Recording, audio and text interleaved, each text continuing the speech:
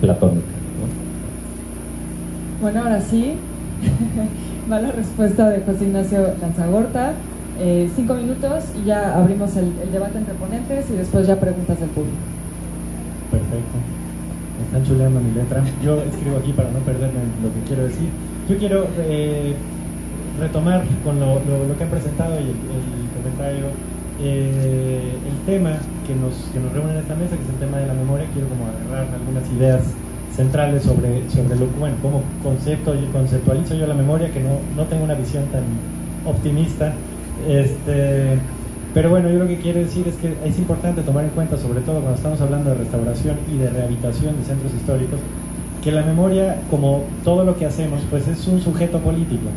Eh, es decir, no existe la memoria como un acervo neutral de todo nuestro pasado y que solamente nos toca alimentarlo, este, preservarlo o difundirlo la memoria es confeccionada, es una cosa eh, que es activada políticamente y sirve para diferentes fines.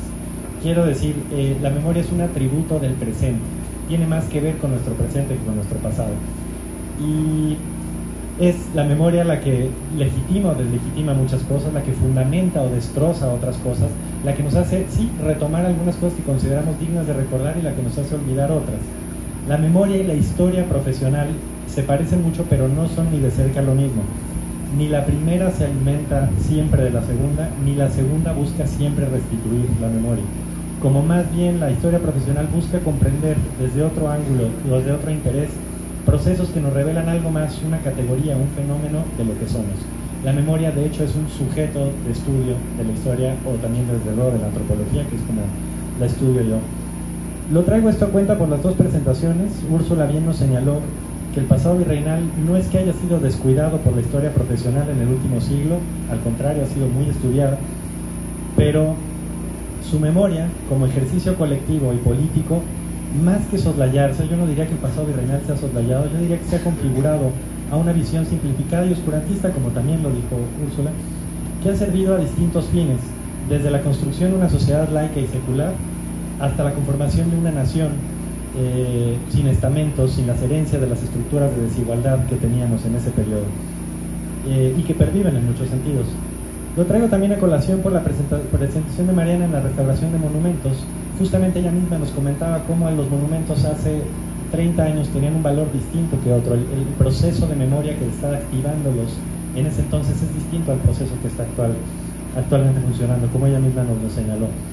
Eh, es interesante analizar el patrimonio como un agente de memoria y rehabilitar así una arquitectura patrimonializada, así como restaurar objetos, se sirven de la memoria y quiero decir de una memoria que fue confeccionada específicamente para ello, pues la memoria es justo el objeto, este agente político que le da valor a ese objeto patrimonializado, a ese monumento restaurado. Y por valor me refiero no solo a un valor económico, hay un valor cultural, hay un valor nacional, un valor este, espiritual, podrían decir algunos, pero también hay que, no hay que negar que en el mundo contemporáneo estamos hablando también de un valor económico. Es la memoria la que nos hace querer ir a habitar a ese espacio monísimo que acaban de restaurar en un centro histórico. Eh, y es, es ahí la memoria la que sirve también para extraerle más valor a estos objetos. Y es aquí donde tenemos que ser muy cuidadosos. Justamente la labor de la historia profesional es la de trascender los peligros que se esconden detrás de la economía política de la memoria y todas las nostalgias que la, que la constituyen. Recordemos que hablando en términos muy generales, la sociedad virreinal era una sociedad religiosa, corporativa y estamental. Sus espacios, sus ciudades, sus entornos fueron creados de acuerdo a esos principios. Y hay que considerar que nuestra sociedad eh, es una sociedad que pretende ser todo lo contrario, pretende ser una sociedad secular, confrontada y conformada por libertades e igualdades individuales y atravesada por, desde luego, las clases sociales, no por los estamentos. Sin embargo, acarreamos aún muchísimo de lo que las estructuras de esa sociedad virreinal nos dejó. La huella de la religión, de las corporaciones y de los estamentos aún nos empapan en nuestra idea de las clases sociales, en nuestra vida política y desde luego en toda nuestra vida cultural. En este sentido, con todas esas herencias que están todavía permeando nuestras estructuras sociales, rehabilitar los centros históricos desde una nostalgia timorata eh, que idealiza un pasado simplificado y sobre el que se y sobre el que no se produce una profunda crítica sobre sus distancias y semejanzas, corre el riesgo de más bien perpetuar las segregaciones que, hay, que hoy consideramos inadmisibles y que no hemos conseguido erradicar. Piensen quién, quién, puede y quién quiere irse a vivir al lugar rehabilitado en el centro histórico. Casualmente alguien que se parecería mucho al del estamento. Eso es un boicot. Sí, esto fue un castigo de la Virgen de los Dolores. De los remedios, perdón, que tenemos aquí. Bueno, ya solo para cerrar mi comentario, pido, pido tiempo por la... Eh, ¿De qué estoy hablando? Estoy hablando de la arquitectura y la restauración de monumentos de centros históricos al servicio del blanqueamiento, la perpetuación de discursos conservadores de poder y, por supuesto, del matiz tan particular que tiene la gentrificación de los centros históricos acompañados de su turistificación. No olvidemos que pasada la independencia de México, las ciudades virreinales no fueron abandonadas, algunas fueron rehabilitadas bajo nuevos este, esquemas y más adelante en el siglo XX fueron transformadas de acuerdo al espíritu de los tiempos. Elegir privilegiar el pasado virreinal en un centro histórico sobre cualquier otra cosa que haya ocurrido significa pues borrar la memoria de quienes las habitaron y reformularon después. Entonces siempre hay que preguntarnos en la restauración, en la rehabilitación, qué memoria de quién y de quién estamos este, reactivando y para qué fines, quién la puede ocupar, a quién le va a significar esa memoria. Y ya, con eso sí.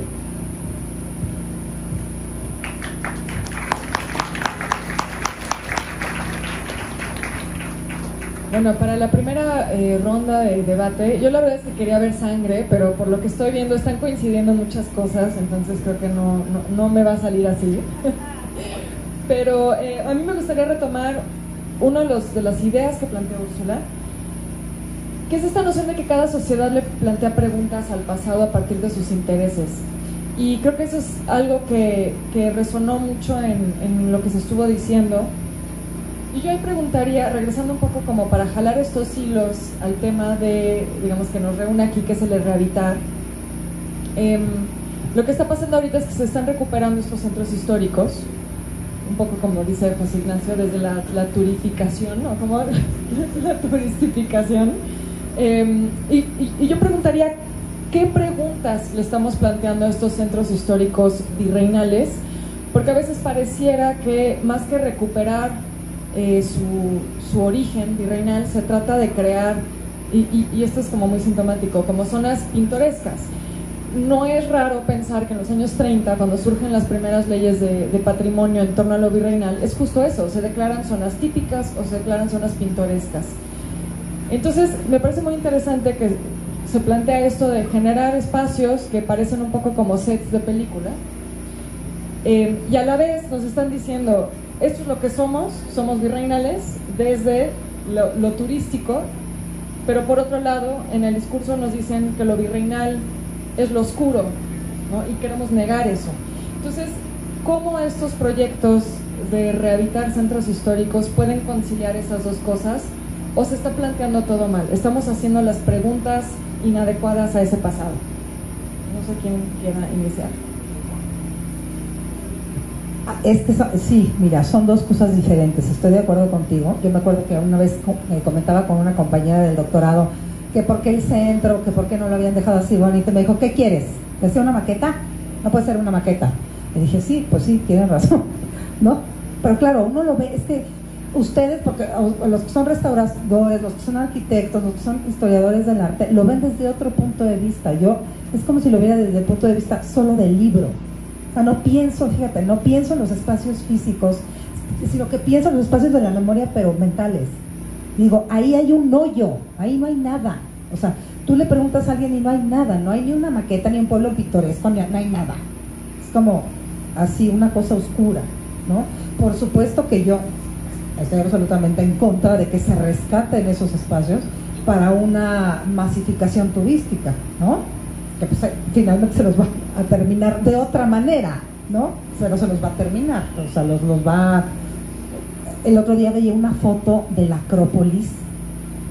Aquello era una cosa llena de turistas, pero era no podían caminar en la Acrópolis. Y dice, pues ya, lo que quedó de la Acrópolis se les va a ir encima. Entonces, eh, no, yo, eh, yo en realidad lo veo más como en el sentido de reconciliar, a ver, es que el asunto es este, la, la, la, idea que la gente tiene de la historia es una idea bien maniquea, es una idea muy ramplona, muy de buenos y malos. Aquí la idea es como poder reconstruir la complejidad de lo que era la sociedad, en el sentido como de poder ceder en eso, en lo que pervive. Y entonces vuelvo de nuevo al ejemplo de eh, la Inquisición, y entonces, no sé, están por ejemplo los inquisidores que vienen con un familión de España que tienen que mantener a la cuñada o a la hermana, a la tía, a la, mamá, a los sobrinos casaderos que son unos inútiles, estos no tienen, no, pues, pues hay que granjearse el dinero. Compraron el puesto porque se compraban y entonces vienen y pues, no sé, resulta que la cosa no marcha y entonces mandan una especie de auditor de España y entonces viene y los vigila y dice, los inquisidores no hacen nada llegan en la mañana, se salen a tomar el chocolate, se van a tomar el fresco, platican con los presos, lo que no deben de hacer, bueno, todo el preso sabe quién lo acusó y tal. O sea, todo el tiempo son fallas al debido proceso. Se quejan y entonces les ponen una reprimenda y tal. En el sentido, ¿a, qué voy? A que en eso podemos vernos. O sea, no se puede ver en esas prácticas más que en el sentido del espacio físico como en las prácticas culturales de lo que se hacía. ¿no? Ese es como, por supuesto que estoy de acuerdo en lo que plantean tanto Mariana como, como Gisito. Perdón, Gisito no, el doctor Lanzagor.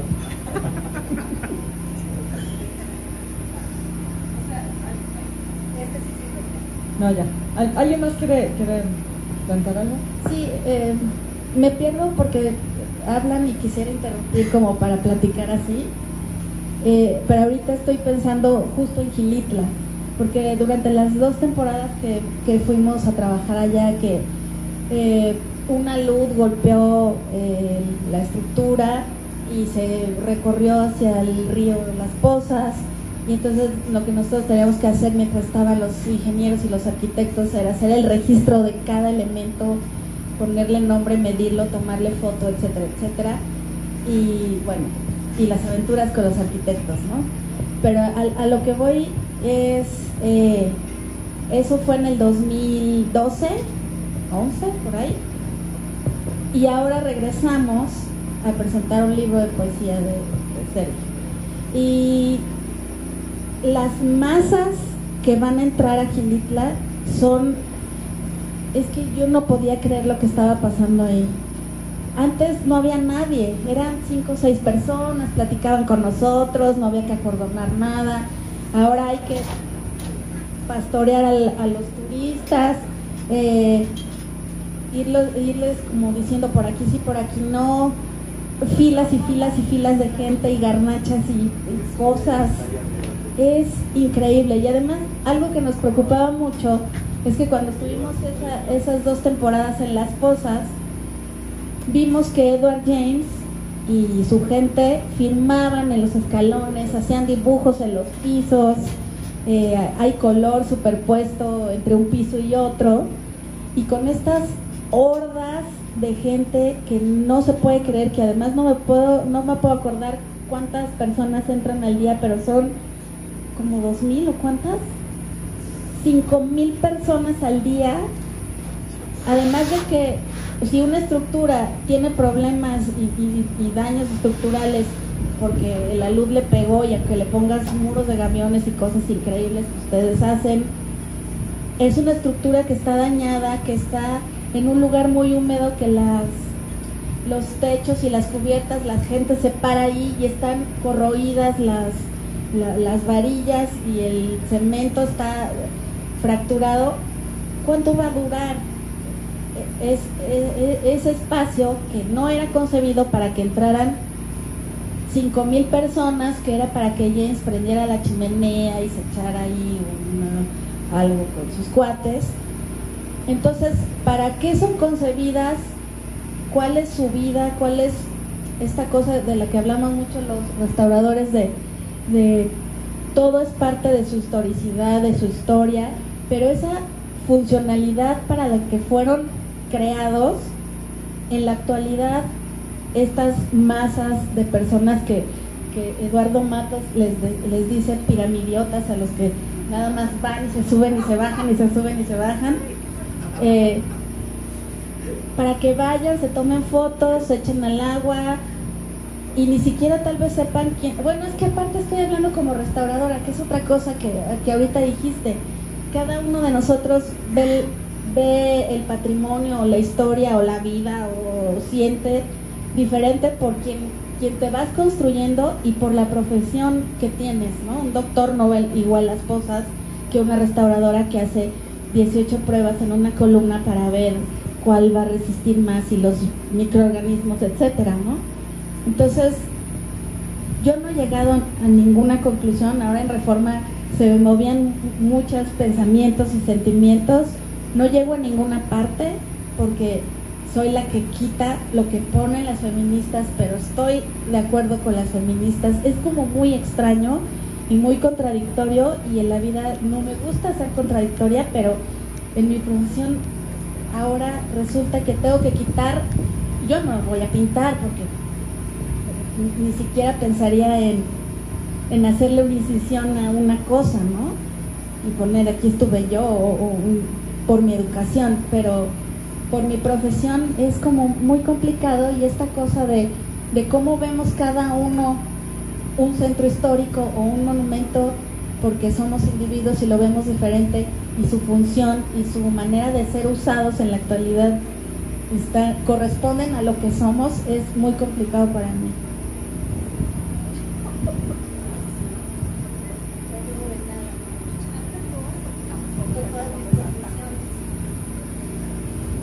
Si no, no me voy a otra, otra pregunta. Em, otro tema que también me, me, brincó ahorita es, tú hablabas de que hacían registros de, registros de las pintas, ¿no? Antes de, quitarlas. Em, y también, por ejemplo, hablabas de cómo hay que pensar el uso original de, de los espacios. Pero a veces pareciera, y esto es algo que ha cuestionado Rubén Gallo, un, un académico de la Universidad de Columbia, sobre em, la postura de gente como Guillermo Tobar y de Teresa, ¿no? de que a veces pareciera que los historiadores, quienes nos dedicamos al estudio del pasado desde todas estas disciplinas, o incluso los propios restauradores, quieren ciudades de monumentos muertos y no de habitantes vivos. Entonces creo que todas esas eh, cosas que tú nos has estado contando, como también los propios monumentos se resignifican a partir de quién los transita y quién habita en torno a esos monumentos, eh, justo esto de registrar las pintas, porque entonces ya son parte de la historia del monumento, entonces las dejas o las quitas, se vuelve parte de... Entonces yo un poco eh, preguntaría cómo desde cada una de sus disciplinas creen que nosotros como ciudadanos podemos habitar en esas ciudades históricas y convivir con ellas y qué tanto tenemos que dejar ese pasado congelado en el tiempo y qué tanto dejamos que eh, sean parte de los procesos dinámicos propios de una sociedad. Bueno, es que a mí este tema me encanta. Este, justo estaba pensando con esto del registro de las pintas y en buena medida el cambio de valor del monumento. Me llamó mucho la atención lo que decías, que, en un pasado la gente sabía quiénes eran las figuras de reforma. Yo no estoy tan seguro que... Yo siento que hay una nostalgia ahí inventada, es decir, a lo mejor no tenían ni idea de quién era, pero sí, yo sí sabía quién era. Ah, bueno.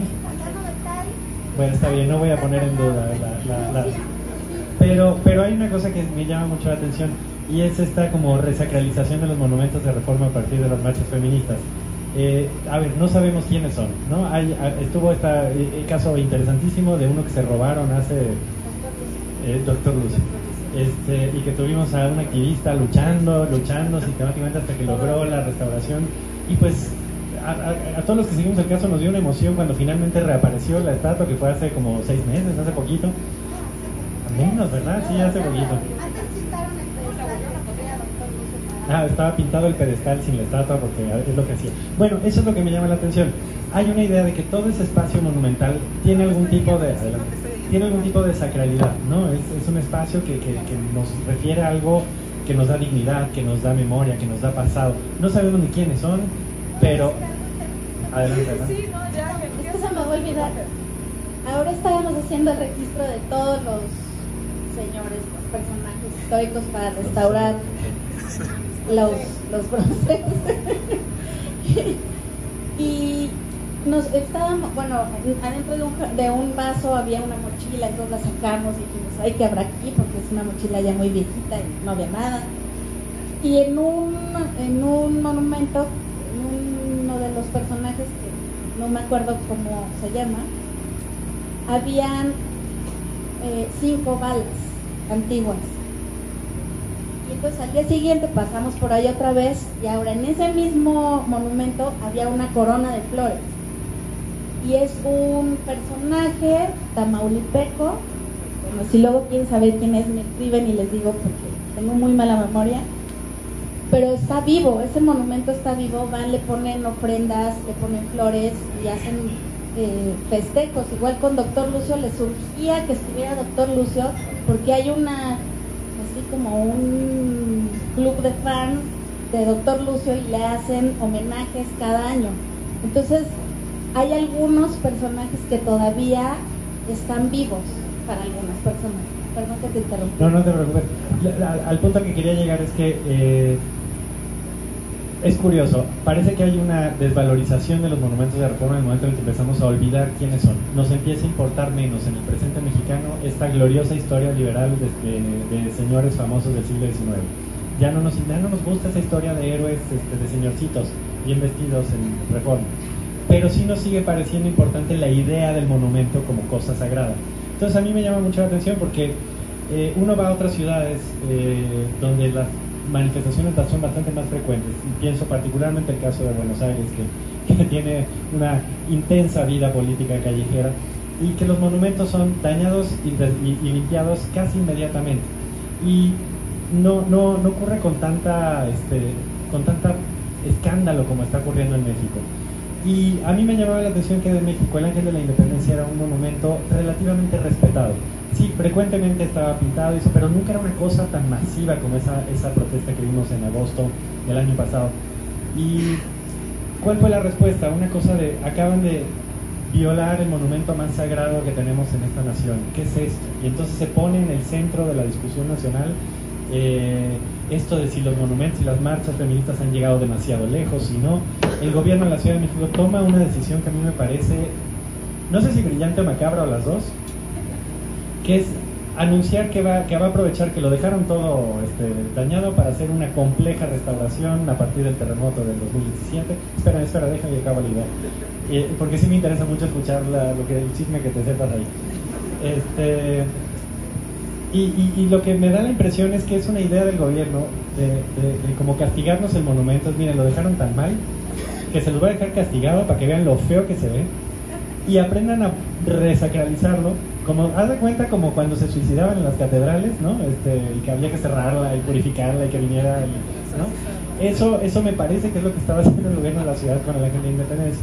Y, y, ya para cerrar, y, me encantaría que nos contaras del Ángel, este, cada marcha feminista sube el valor político de dañar los monumentos, porque la respuesta, ya no solo de los señorcitos que se indignan y que dicen, ay, qué horror, cómo lo dejaron, sino del propio gobierno, ahora hasta el presidente de la República dice, no nos pinten las puertas, pues ¿cuál va a ser la respuesta? Pues decir, si tanto les importan, pues más se las vamos a pintar. Entonces, es maravillosa la revalorización del monumento y si se fijan, hablando de memoria, lo que menos importa es la memoria. Es, esas puertas de cuándo son, pues quién sabe, pero es que son sagradas para alguien. Entonces, si no nos hacen caso, vamos a desacralizarlas una y otra vez. Entonces, hay un nuevo valor del monumento en la, en la cultura, por lo menos chilanga, y sería interesante ver a dónde van, pero bueno, ya cierro, perdón, hablé mucho. No, no, no sé cómo estamos de tiempo porque empezamos tarde, pero bueno, quizá otros 10 minutitos para que respondas, quizá ya nos vamos a, o sea, respondes y ya nos vamos a preguntas del público, ¿no? la primera cosa que te quería interrumpir. Estaba hablando del ángel, de las pintas al ángel y que aprovecharon las pintas feministas para decir, ahora, ahora como no se saben portar bien con el ángel, pues vamos a castigar un rato y vamos a hacer... Ah, ya me acordé, sí. Eh, el ángel eh, lo restauró otra empresa de una restauradora, bueno, una arquitecta restauradora eh, en el 2012 y le pusieron un refuerzo estructural por dentro que con el terremoto del 17, aunque 17, se, se dañó esa estructura y la Facultad de Ingeniería de la UNAM hizo un proyecto para intervenirlo de nuevo. Eh, antes de la marcha feminista de del 16 de agosto. De hecho, el jueves, la marcha creo que fue el viernes y el jueves Mega nos dijo, bueno, me dijo, vamos a restaurar también el ángel. Y entonces todos dimos una vueltita y dijimos, bueno, pues va a haber que hacer el proyecto. Y entonces el viernes, como a las 6, pasamos, dijimos, mira, pues no, tiene unas pocas pintas, las han pintado con pintura, está súper mugroso, la contaminación se le ha pegado aquí, acá y acá. Ah, no, va a estar bien fácil. Y ya nos fuimos a la casa y ya como a las 8 o 9 de la noche pues, era una cosa completamente diferente a lo que ya era, ¿no? Ya había un proyecto de intervención estructural y un proyecto de intervención estética, ¿no? Primero iba a entrar, primero iba a entrar la UNAM con una empresa de, de arquitectura y luego íbamos a entrar nosotros ya como para presociar.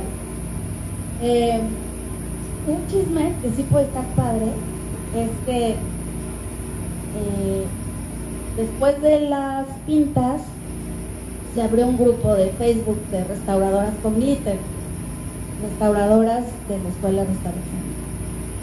Y me agregaron, ¿no? Y entonces puras mujeres hablaban un poco mal de hombres involucrados en la restauración, incluso del... Es un super chisme, ¿no? del, sí, del químico que hace los geles para el proyecto. Y bueno, yo como que sentí horrible y le decía a Sergio, que es mi esposo que está aquí, le decía, porque aparte estaba haciendo el proyecto y decía, hey, léeme lo que están diciendo las Glitter, ¿no? Entonces ya me hacía un resumen ejecutivo de todo lo horrible que decían, de las cosas interesantes. Pero el punto aquí es que el viernes abren el grupo, me agregan, el sábado dijeron, vamos a limpiar todas el ángel y gratis. Y yo dije, sí, vamos a limpiar el ángel, pero no saben lo caro que es quitar pintas. Necesitamos gente. Entonces yo empecé a alucinar y, dije, bueno, prestamos las plantas de luz, compramos unas lámparas, hacemos brigadas mixtas, pero que haya más restauradoras que, restauradoros. Y está padre la idea. Eh, eso era el domingo, era no, no, vamos a restaurar, a limpiar el ángel, pero gratis no. Dije, qué bueno que asistió la razón. El lunes dicen, no vamos a limpiar el ángel, ni gratis ni no gratis, y me borraron del grupo. Y ya me perdí todo lo que sigue del chisme, ¿no? Porque yo soy la que limpia las quintas. Entonces, bueno, hay así como una psicosis de el monumento, porque es el ángel, la columna de la independencia, porque no es el ángel, es la columna de la independencia. Eh, ya había un proyecto de restauración con un grupo de restauradores y entonces luego esos restauradores nos acosaban a los que estábamos limpiando allá. Entonces, eh, sí creo que el gobierno tiene ahí como una obsesión enfermiza con el paso de la reforma y estos personajes que restauraron el país y bla, bla, bla. Eh, y creo que pierde completamente de vista eh, la materialidad de esos monumentos, porque hay a quienes les importan y a quienes no, pero a mí me importa que esa piedra no se vuelva arena y es lo que va a pasar, o lo que está pensando pasar. Entonces hicimos algunas cosas como de salvamento súper preventivo y, eh, y también pierde de vista el nuevo significado que tienen estos monumentos y esta forma de que se pudiera conciliar cómo poder ser utilizados de una nueva forma, que es esta forma nueva de protestar, porque decían, es que del 68 no los pintábamos, no decía el señor bueno, sí, pero ahora sí se pintan, ¿no? Ya con los 2000. Sí, a mí solo me gustaría aclarar, según donde yo me quedé con el chisme de las restauradoras, gracias. Eh, es que la postura de las restauradoras eh, con glitter era que no es que no se vaya a, quitar la pinta nunca, sino que se queden hasta que se resuelva el problema de la violencia contra las mujeres, ¿no? Esa era un poco la, la postura hasta donde yo me quedo. Las pintas se van a quedar para siempre, porque ya les ha dado el sol de una forma que ahí se van a quedar. Nosotros fuimos a hacer unas pruebas de limpieza en el monumento a Cuauhtémoc en octubre. Había poquitas pintas, dijimos, ah, con esto se quita bien, ta, hicimos el proyecto y listo. Luego, el 25 de noviembre quedó completamente pintada la piedra y los metales, etcétera. Hicimos, se tardó mucho en salir el proyecto, le dio sol, la lluvia, todo le dio. Regresamos a usar los mismos productos que usamos para hacer las primeras pruebas y ya no se quitan. Hay, hay, ya es irreversible, ya el monumento, las consignas, muchas de ellas ya se van a quedar ahí para siempre, a menos de que se metan ácidos y ni siquiera el INE está de acuerdo con eso. Este, vamos rápido con la réplica de Diego y ya solo tenemos cinco minutos, pero sí me gustaría, si alguien tiene alguna pregunta, eh, que, la, que la incorpore. ¿no? Sí, solo quería eh, como dar dos opiniones como para continuar con, con mi postura. O sea, creo que a, no es postura, es una sugerencia en general eh, que creo que sí tenemos que siempre estar muy conscientes que todos los monumentos, la arquitectura, todo tiene una carga simbólica, ¿no? Y, y hay que, hay que pues, un poco tratar de intuir o tratar de leer qué es lo que significa en nuestra memoria y en nuestra concepción estética y en nuestra relación con la ciudad y nuestra relación con nuestra identidad, los monumentos y los, la, arquitectura en general también, la ciudad en la que vivimos, ¿no? O sea, creo que podemos tener una postura crítica, este, incluso llegar a, a poner en tela de juicio que, que eh, bueno, más bien preguntarnos por qué llegó a esas instancias que se pintara el ángel de la independencia y también, pero también darle el beneficio de la duda a las personas que lo hicieron, que tienen, por, por tener un argumento verdaderamente legítimo, ¿no?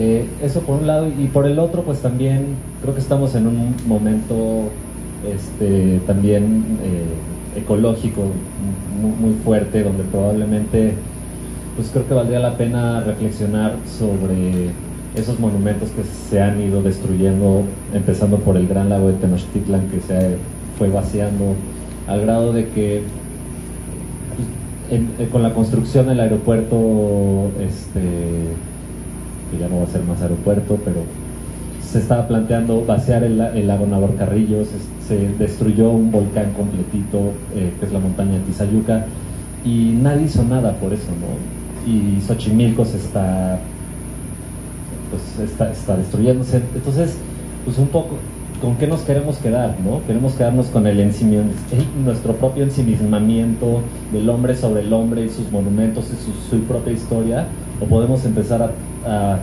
plantearnos con humildad como, pues como unas, pues entender el pasado críticamente y darnos cuenta que nuestra mirada hacia nosotros mismos, nuestro reflejo un poco como dice Úrsula, igual ya está muy gastado y probablemente lo que tenemos que empezar a reflejarnos es en lo que nos queda del planeta Tierra, ¿no? Y creo que ahí están los verdaderos monumentos y, un poco los japoneses lo saben o lo, lo, lo han valorado mejor o los mismos indígenas, las culturas milenarias y pues nada, este, sí, creo que hay que distinguirlo.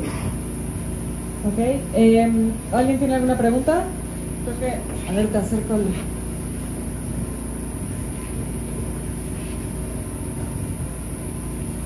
Hola, este, muchas gracias, muy interesante todos los puntos de vista quisiera yo hacer una pregunta como para aterrizarlo ya a una perspectiva un poco más práctica, arquitectónica, de, y, y, me interesa mucho lo que van a contestar las restauradoras y los arquitectos. Eh, empiezo con lo de los monumentos, que lo borran, lo vuelven a pintar, lo borran, lo vuelven a pintar, pero, o sea, y dice que es la nueva manera en la que una sociedad se apropia de sus monumentos, en la que una sociedad los usa, pero ¿qué tanto estas pintas pues van a ser registradas o van a tener algún algún impacto y que tanto nada más va a seguir acumulándose presión hasta que tengan que hacer algo pues más fuerte ¿no? o sea que tanto es realmente una radiografía de cómo estamos actualmente que algo que no está estable y que va a tener que enseñarse de otra manera